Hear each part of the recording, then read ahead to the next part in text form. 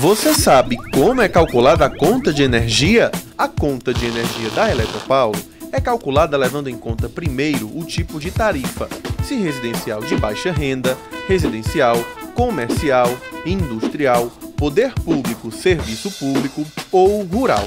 A última regulação sobre os valores foi a Resolução Homologatória 2263 da ANEEL. Na classe residencial, há dois componentes para o cálculo a tarifa de energia custa 23,887 centavos por quilowatt-hora consumido. Já a tarifa de distribuição, 18,74 centavos por quilowatt-hora. Mas esse valor pode variar de acordo com a bandeira tarifária, que reflete o custo de geração da energia elétrica. A bandeira verde é aplicada quando as condições de geração de energia estão favoráveis e não cobra quantia adicional. A amarela adiciona um centavo para cada quilowatt-hora e vale quando as condições estão menos favoráveis. Já a vermelha, quando a geração de energia está crítica, tem dois patamares.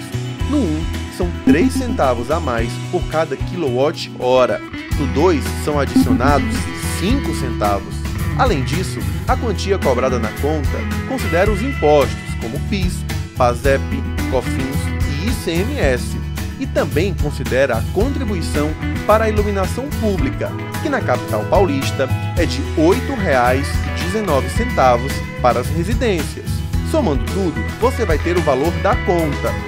E para conseguir uma quantia mais baixa, se lembre sempre de desligar os eletrodomésticos e até tirá-los do stand-by quando não estiver usando.